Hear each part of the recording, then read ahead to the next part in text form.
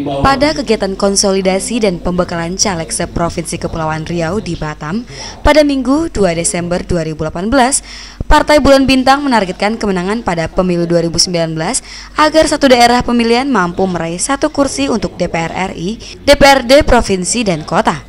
Sehingga untuk di DPRD Provinsi Kepulauan Riau diharapkan PBB bisa mempunyai satu fraksi.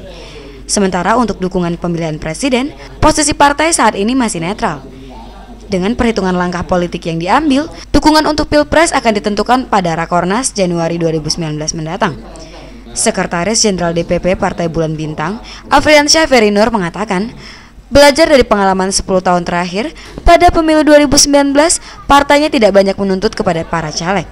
Namun diharapkan pada masing-masing dapil ada caleg PBB yang menang minimal mendapatkan satu kursi di masing-masing dapil. Kita minta kepada seluruh kader partai yang menjadi caleg turun ke masyarakat, melakukan sosialisasi ke masyarakat sehingga masyarakat bisa mengenal ini caleg dari PBB, ya ini yang sudah pernah dilakukan mereka, ya kan. Nah, rata-rata sekarang yang hadir di menjadi caleg ini adalah tokoh-tokoh masyarakat. Ya insya Allah kami targetkan satu dapil satu kursi. Untuk dukungan calon presiden dan calon wakil presiden, DPW PBB Kepri sudah menyampaikan saran dari hasil musyawarah semua DPC kabupaten dan kota. Sedangkan yang menyatakan kepada siapa dukungan diberikan adalah Ketua Umum PBB Yusril Iza Mahendra pada saat Rakornas PBB yang akan digelar Januari 2019.